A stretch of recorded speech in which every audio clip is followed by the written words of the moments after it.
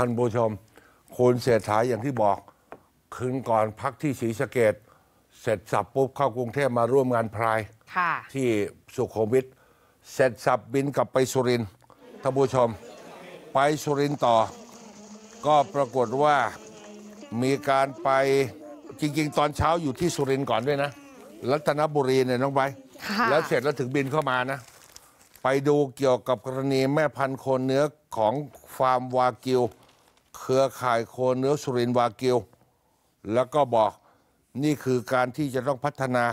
นอกเหนือจากกรณีของข้าวหอมมะลิที่สุรินโด่งดังที่สุดอยู่แล้ว เพราะสามารถจะขายได้ราคา นอกจากนั้นภารกิจรอบนี้ก็ไปดูเรื่องการคมนาคม อย่างกรณีที่สุรินเนี่ยมีการไปประชุม หาเรือศึกษาความเป็นไปได้เกี่ยวกับการทำสนามบินสุรินทร์ และก็ยังพูดถึงปัญหายาเสพติดที่เป็นภารกิจหลักของการลงพื้นที่ตั้งแต่ทางเหนือแล้วที่น่าน แล้วก็มาที่ร้อยเอ็ด ประกาศให้เป็นจังหวัดสีขาว แล้วจังหวัดอื่นๆ จะใช้โมเดลแบบเดียวกันท่านผู้ชมฮะภาพรวมของการลงพื้นที่ เมื่อวานนี้เสร็จสับจากทางด้านของ สุรินทร์เนี่ยเดี๋ยววันนี้จะต่อการโคราชใช่ไหมค่ะครมสัญจรแล้วล่ะ ค่ะ บางช่วงบางตอนเมื่อวาน นายกเนี่ยสังเกตดูไปทางไหน จะมีคนถามอยู่สองเรื่องค่ะ หนึ่งปุ๋ยคนละครึ่งค่ะ สองดิจิตอลวอลเล็ตหมื่นบาท เมื่อวานนี้คุณเศรษฐาตอบคำถามประเด็นว่าเนี่ย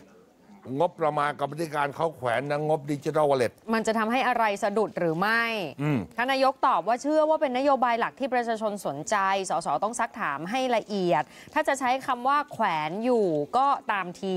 รัฐบาลก็ต้องเอาไปพิจารณาว่าเราจะทำอะไร แล้วเราทำอะไรที่มันไม่สมบูรณ์หรือเปล่า ก็ต้องกลับไปตอบคำถามเขาให้ได้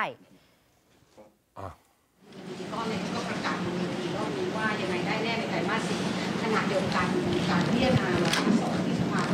มีการแขวนอยู่มันจะสรุปอะไรแล้วไปวาระก็สาม ผมเชื่อว่าผมเชื่อว่าเป็นนโยบายหลัก เป็นนโยบายที่พี่น้องประชาชนให้ความสนใจ เป็นนโยบายที่สมาชิกสภาผู้แทนราษฎรซึ่งเป็นตัวแทนของพี่น้องประชาชน ต้องซักถามให้ละเอียดนะครับ ถ้าเกิดยังจะมีการใช้คำว่าแขวนอยู่ก็ตามทีเนี่ยทางฝ่ายรัฐบาลเองก็ต้องพิจารณาว่าเอ๊ะเราทำอะไรที่มันไม่สมบูรณ์หรือเปล่า แล้วก็ต้องกลับไปตอบคำถามเขาให้ได้ มีการเตรียมแผนไว้แล้วใช่ไหมคะถ้าวาระสามต้องสรุปต้องไปส่งอีกชั้น ความชัดเจนตรงนี้นะความตั้งใจเราก็อยากให้ผ่านวาระสามครับ